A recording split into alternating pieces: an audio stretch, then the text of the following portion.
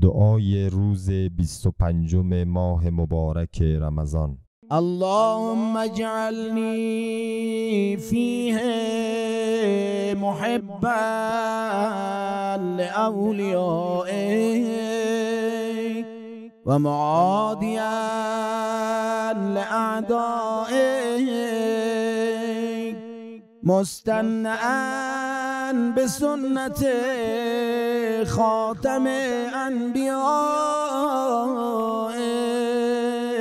يا سمع قلوب النبيين